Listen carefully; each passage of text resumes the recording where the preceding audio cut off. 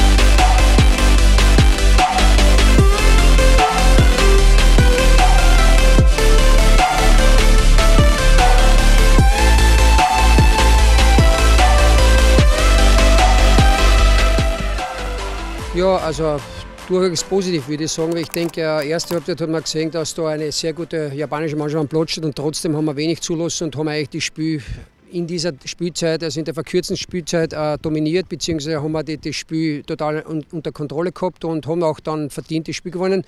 Der zweite Teil war eigentlich ähnlich, würde ich sagen. Die Jungs äh, haben das wirklich gut gemacht und somit kann ich sagen, dass es für beide Mannschaften bei dem Test wirklich positiv zu bewerten ist.